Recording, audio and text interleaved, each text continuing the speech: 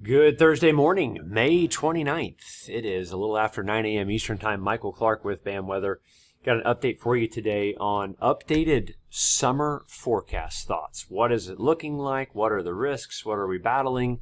We're going to talk about that, including perhaps one of the most active June severe weather uh, episodes we've seen in, in, in possibly decades. So June could be very active uh, with severe weather chances. We're going to get into it. We got a lot to discuss today. Make sure you subscribe to the YouTube channel, share it with a friend, all right, and let folks know you're watching here this morning. This is a look at the updated drought monitor. Okay, just in here today. Um, and again, you know, the big focus I want to talk about here, because I know a lot of folks are focused on it. It's been raining, it's been wet. No disagreement in spots, all right? But in the last four weeks, um, we have seen you know, class changes. We've seen drier uh, trends, especially, you know, I've harped on this area for several weeks. I know it got rain yesterday, I understand. Um, but nonetheless, it's still um, something that has my attention. It's even, it's even central Michigan up here, it's, it's dry up there. Uh, now, there's been improvements. We need a lot of rain in Nebraska, for sure.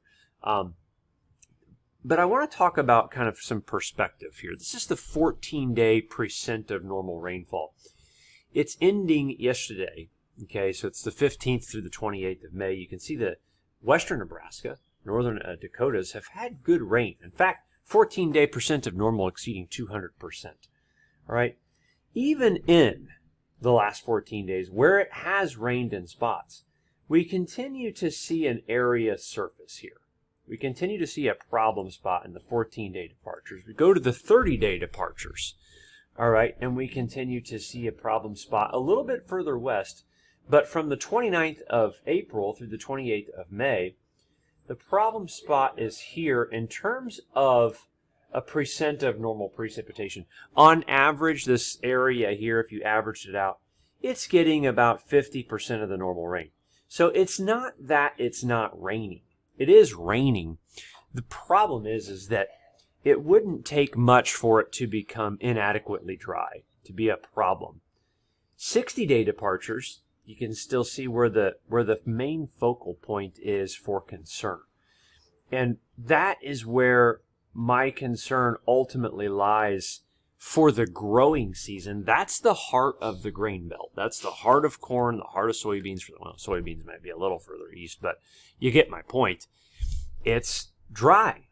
Any map you look at, it's just a little bit drier. All right, I wanted to show you the aridity index. Now, I know you all are saying, Michael, you are a total idiot. It's rained, it's raining, it's wet, I can't plant. For people, that is the case. It is. It's absolutely the case. This method right here, looking at the aridity index at this time of year, works. I'm telling you, this area right here, there are concerns that the summer will feature a lack of rainfall. If there is rainfall, perhaps we get a lot of it in June for the first 20 days, and the pattern transitions to a drier and warmer one.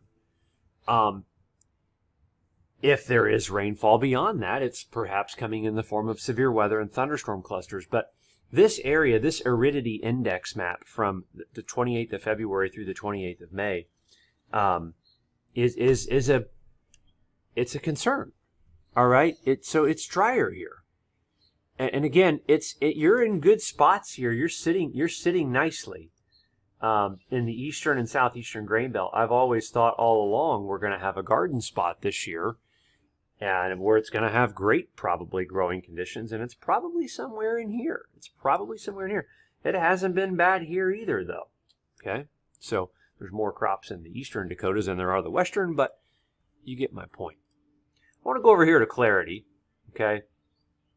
And i want to show you uh, the soil moisture index uh, map that updates daily. It's it's similar to the drought monitor only a little bit more in the in the real time world top four to six inches of the soil moisture percentile using the NASA SPoRT LIS Index. Okay. And again, there's your concerns. I've seen drier. Don't get me wrong. I've seen drier. Um, but point being, getting into summer, it wouldn't take much to exacerbate that. And that's going to kind of be my focal point for the video today. The first thing I want to do is I want to go over 24-hour rain threats here using the uh, the uh, weather model, uh, overnight GFS.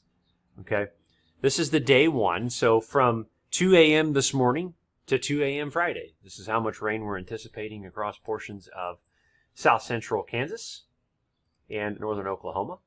Right, you can see that blob of rain right there. Right, and then as we go forward, take this out. Had to move that a little bit here. Let's take that out into day two. There's the day two rain. All right, that's going to go uh, Thursday night tonight into Friday morning. Okay. And you can see, uh, in fact, actually, this is uh, the uh, Thursday, yeah, Thursday 8 p.m. to Friday 8 p.m. My apologies. And you can see the rainfall here anticipated here across the Ohio River Valley, south and east here into Cincinnati, heavy rain, southern Indiana, Ohio, into portions of Kentucky. Then we'll go in here to day three, some residual wraparound rain showers, some nasty weather hanging out in the uh, Ohio Valley, um, and rain in the northeast. Okay, going into day four. More rain for Kansas and Oklahoma.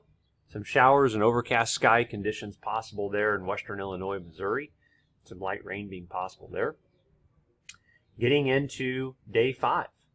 Right, you can see a heavy rain event that, again possible there for portions of Oklahoma. Kind of a rinse and repeat pattern there in the day five time frame. Again, that's going to be um, Friday uh, night. Uh, whoops, sorry, that's the wrong one there. That's going to be uh, Sunday night through Monday night. Okay? And then as we go forward, we're going to go in here to day six. Look at that there, eastern uh, Kansas, central Missouri. A little bit of a better rain system here by day six, day seven of next week. So a week from today, it's possible you're looking at a decent shot of rain here starting in the central U.S., working east, and it could come in the form of severe weather. All right, so what does it look like for total QPF the next seven days? That's the latest right now. That's the latest GFS forecast model. Uh, a lack of rain, if you will, um, here, and questionable, if you ask me, questionable here. So again, next seven days, you know, what are we dealing with? Uh, how much rain actually falls? Uh, we'll go to the overnight European run in the same time frame. Look at this. Okay, again, a seven day rainfall that that highlights that area a little bit east. It's got more rain in Iowa and Nebraska, no question. A little bit east, um, even out to the 15 day time frame, you can see the area of concern there.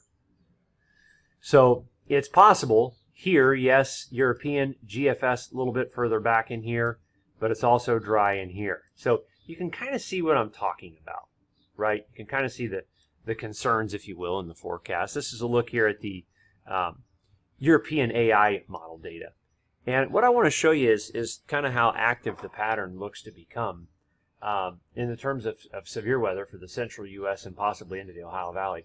There's the front that goes through this weekend. This is by Saturday morning. Cold front comes in. It's going to be a nice weekend after this departs. Sunny and 70 in a lot of sections here of the Ohio Valley and uh, the central U.S.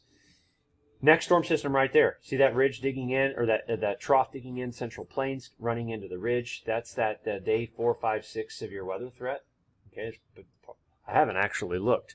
There's potential that we have extended range severe weather risks from the Storm Prediction Center. I haven't looked at it. Wouldn't shock me next week to see multiple days of severe weather. And then beyond that, another system, 5th, 6th, and 7th, and 8th of June comes down, bringing these troughs in here.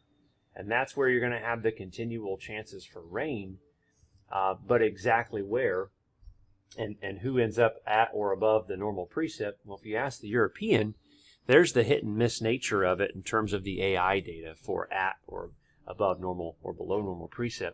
But go over here and check out the ensemble. This is the 15 day ensemble. Okay. Now, it doesn't mean in this particular situation in here that it's not raining. This doesn't mean you get no rain. Okay.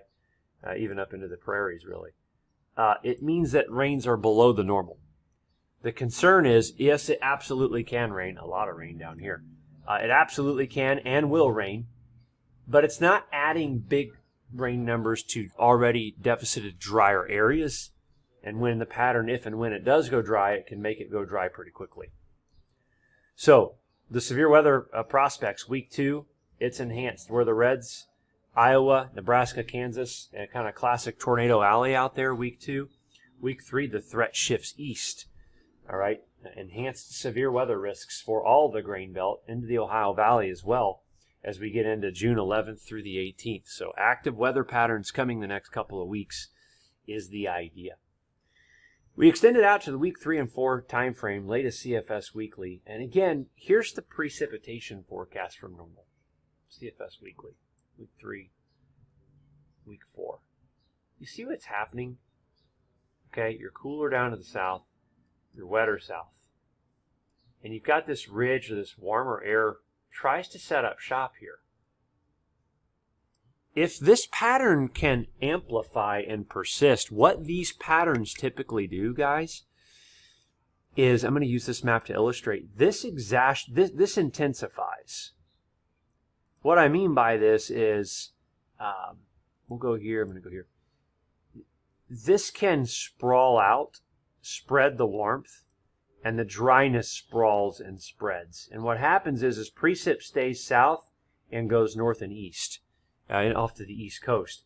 And problems develop in the primary growing regions. This pattern is a precursor to the concerns that we have for a warmer and drier summer forecast. Once the pattern flips, if it does, if it can, when it does, when it can, it's probably around pollination or slightly before, after June 20th through the first week of July. So these precursors of expanded dryness and warmth suggest that that flow pattern is kind of cutting off. And stuff can come up underneath it and hang out, but it can get warm and dry to the north of it. So we got to watch that. That needs to be a concern going forward. We've updated the forecasts. I've got three and four week forecast panels on the left. Again, we've talked about this area. It's not going to not rain. You will get rain. All right. It may trend drier late June into July. We still have below normal factored in here for July and below normal here in August. We don't have much belows because their confidence is somewhat shaky. Um, I want to watch what happens in here. This potentially expands. This potentially expands. Same for August. It's above normal temps. The risk would be it just squashes the cooler down to the south, much like you see with August, but warmer temps and below, uh, further below normal precip. That's the idea. So the end all. Listen, we've had a set of yields analogs for a minute. The new ones, we've tossed in some new ones based on some wetter Junes recent, recent trends. If you factor them all together, um, you know, you still come out suggesting yield to be 1.8 below the trend. Okay, with two problem years being 11 and 12. Those are the problem years. Um, you've got years that are above trend. Okay, it's one of those years where, um, you know, I don't think it's I, I think there's just problems. And it's hard to nail it down still on May 29th. But I just think there that, that there winds up being more problems than there does just problem free with the overall weather pattern as it pertains to the U.S. grains. So we're going to continue to monitor this. We're trying to nail down and figure out the summer pattern right now. Um, and we're going to continue to do that. So subscribe to the YouTube channel, make sure you check us out over on bamwx.com um, to get daily localized updates right to your location and more of the same of this. Take care.